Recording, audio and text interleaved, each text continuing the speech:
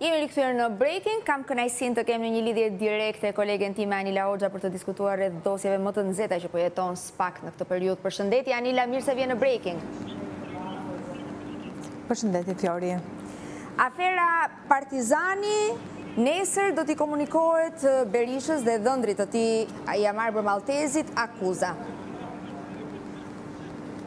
Çfarë pritet të ndodhë duke qenë se është bërë dhe thirrje? Mhm. Po. Përpara se të shkojmë tek dita e nesërme, gjatë ditës së sotme gjithashtu pritet të ketë zhvillime mjaft interesante sa i përket një procesi gjyqësor i cili do të mbahet në dhomë këshillimi në gjykatën e lartë dhe që sërish duke u bazuar në një rekurs do të shqyrtojë me dyer të mbyllura kërkesën për çështjen e logos dhe të vulës, një histori gjyqësore e cila për mbi një vit ishte dhe në fund në qershor dy mijë e njëzet e katër u vendos që t'i kalonte pikërisht Sali Berishës. Por kjo çështje më pas u ankimua dhe u rekursua në Gjykatën e Lartë duke kërkuar prishjen e vendimit të Gjykatës së Apelit nga njëra anë, një çështje që u kundërshtua nga Lulzim Basha edhe publikisht dhe më tej u bë edhe fakt gjatë muajit korrik, duke dorëzuar një padi gjyqësore, por përpara se Gjykata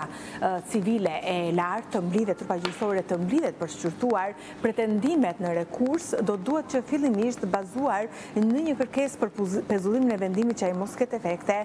të mblidhet sot me dyer të mbyllura dhe të shqyrtojë nëse do të vendosë apo jo një masë sigurimi paraprak për mos të patur pikërisht efekte në atë që konsiderohet si beteja midis dy grupimeve për çështjen e vulës dhe të logos që realisht menjëherë mbas vendimit të Gjykatës së Apelit është bërë fakt dhe vula dhe logo shkuan aty pikërisht mbasi shkuan pikërisht dhe i kaluan dhe u konsiderua gjithçka e vlefshme dhe i kaluan Sali Berishës, i cili aktualisht vazhdon të jetë prej dhjetorit dy mijë e njëzet e tre nën masën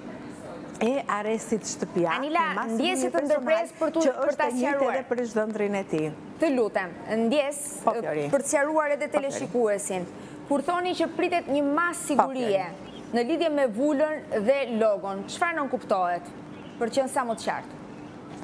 Atëherë, Patjetër, Flori, duke qenë se gjykata e apelit, në po. qershor 2024, i dha të drejtë grupit të rithemelimit, ishte beteja për vulën dhe logon në të cilën dy grupimet nga njëra anë grupimi Basha dhe nga ana tjetër grupimi mhm. Berisha, bënë betejën sa i takon pikërisht dy kuvendeve dhe pikërisht gjykata e apelit konsideroi të pabazuar kundërshtimet e grupit të Bashës dhe konsideroi të fituar palën e grupimit të po. Sali Berishës. Ky vendim u dha dhe konsiderohet i formës së prerë në qershor 2024, por Lulzim Basha pavarësisht se politikisht ishte shprehur se do ta konsideronte dhe do do të respektonte po. vendimet e gjykatave, ku natyrisht nuk kuptohet edhe vendimi i gjykatës së apelit, ka bërë rekurs. Bashkë me Enkelejd Alibeajn iu drejtuan gjykatës së lartë me rekurs për të shfuqizuar këtë vendim të Gjykatës së Apelit, që natyrisht e shpalli humbës grupimin e Lulzim Bashës dhe pikërisht duke u bazuar në një nga kleçkat apo ajo që u konsiderua si lëvizje e gabuar juridike e Lulzim Bashës, mbasi mbas dorëheqjes si kryetar i partisë, ai kishte deleguar kompetencat tek Enkelejd Alibeaj, por këto kompetenca ishin deleguar disa muaj Mbasi Lulzim Basha kishte dhënë dorëheqjen dhe për këtë arsye, Gjykata e Lartë thotë se për sa kohë Lulzim Basha nuk kishte më kompetenca si kryetar i partisë, ai nuk çdo veprim i mëtejshëm edhe delegimi i kompetencave te Enkelejd Alibeaj konsiderohet nul dhe për këtë arsye edhe ngritja e padive dhe pretendimeve të mëpasshme në gjyqësorin shqiptar u konsideruan të pabazuara nga ana e këtij grupimi. Dhe kjo ishte klauzola në të cilën grupimi i ish-kryeministrit Sali Berisha u konsiderua faj Më falni, u konsiderua fitues në gjykatën e apelit, një vendim i cili ju e dini tani më ishte ka qenë një odise e vërtetë për sa kohë përfundoi dhe më herët në gjykatën e lartë. Por derisa të konsiderohet dhe të shikohen pretendimet e themelit mbi këtë çështje në gjykatën e lartë që tani më rekursohet nga grupimi Basha, do duhet që fillimisht të ketë një dhomë këshillimi bazuar në një kërkesë të këtij grupimi i cili kërkon pezullim të vendimit, pra marrje të përkohshme të, pra Gjykata e Lartë duhet të shprehet me një marrje vendimi të përkohshëm derisa të ketë një vendim themeli në Gjykatën e Lartë mbi pretendimet ku goditet dhe ku kundërshtohet vendimi i Gjykatës së Apelit. Kjo është masa, pra nuk është masë sigurimi penal, por është masë sigurimi civil që minimizon efektet derisa të ketë një vendim themeli nga Gjykata e Lartë. Por, natyrisht që treshja e gjyqtarëve do të mblidhet me dyer të mbyllura, nuk është e aksesueshme nga media, natyrisht nuk është e aksesueshme as nga rekursuesit dhe pritet që sot, le të parashikojmë kështu, Gjykata e Lartë do të ketë një vendim për këtë çështje duke kthyer sërish në vëmendje çështjen e shumënjohur tani më prej dy vitesh, të ulës, të vulës së Partisë Demokratike. Po, për të kaluar tek zoti Berisha që duhet të paraqitet nesër në spak, ish kryeministri ka bërë, ka bërë thirrje militantëve që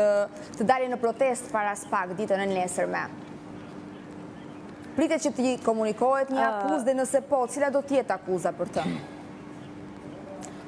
Flori, rregulli kërkon fillimisht ajo që është dërguar si ftesë ish-kryeministrit Sali Berisha është pikërisht kërkesa që ai të paraqitet në ambientet e Prokurorisë së Posaçme të spak. Mhm. E njëjta kërkesë i është dërguar edhe Jamarbër Malltezit, po ashtu nën masën e arrestit shtëpiak që të paraqitet në orën katërmbëdhjetë të të njëjtës ditë, ndërsa Një kërkesë e tretë i është dorëzuar edhe personit tjetër në hetim, biznesmenit Fatmir Bektashi, i cili do të duhet të paraqitet të enjten pikërisht përpara Prokurorisë së Posaçme spak. Rregulli e do duke qenë se Prokuroria e Posaçme spak është në limitet e përfundimit të afateve hetimore për të kryer veprime hetimore dhe për sa kohë gjatë verës i zgjati edhe tre muaj, rregulli dhe Kodi i Procedurës Penale parashikon që pikërisht ditën e nesërme Së pari, ish-kryeministrit Sali Berisha, më tej edhe dhëndrit të tij, t'u parashtrohet kërkesa për t'u pyetur në lidhje me gjetjet e deritanishme të grupit të hetimit për dosjen e Partizanit dhe më tej